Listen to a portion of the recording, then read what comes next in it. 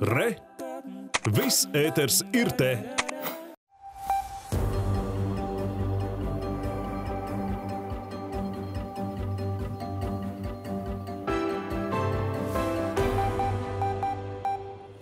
Labrīt, tuliņ jau septiņi pulkstenis. Silti sākusies šī nedēļa. Lielākajā valsts daļā temperatūra ap 7 līdz 10 grādiem, mazliet vēsāks vietām ziemeļvidzemē ap 3 līdz 4 grādiem. Vidzemes rietumos dažviet nedaudz līst, savukārt Liepājas un Saldas pusē izveidojusies migla. Tur autovadītājiem jābūt prātīgākiem. Dienas gaitā mākoņu joprojām būs daudz, saule parādīsies tikai brīžiem un vietām ik pa laikam gaidāmas lietus. Vairāk līs pēcpusdienā un vakar pusē Latvijas rietumu daļā kurzemē. Saglabāsies lēns dienvidu austrumu vējš un gaisa temperatūra šodien visaugstāk pakāpsies kurzemē, kur vietām līdz 13 grādiem, valsts centrālajā un austrumu daļā pārsvarā 7 līdz 10 grādi.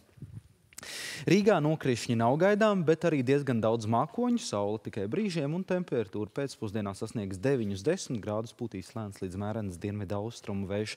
Vēl īsi par dažām turpmākajām dienām. Nākamajā naktī gaisa temperatūra būs no 3-4 grādiem valsts austrumos, kur vēl nakts pirmajā pusē debesis skaidrosies līdz 11 grādiem piekrastē. Rītdienā 8-13 grādus silts, bet vietām kurzemē un zemgalē līdz pat 15 grādiem silts, lai gan diena būs apmākusies, dūmakaina un brīžiem gaidāms lietus. Savukārt trešdienas naktī 7-12, dienā 11-13 grādi arī brīžiem līs, bet trešdien nokrišņi jau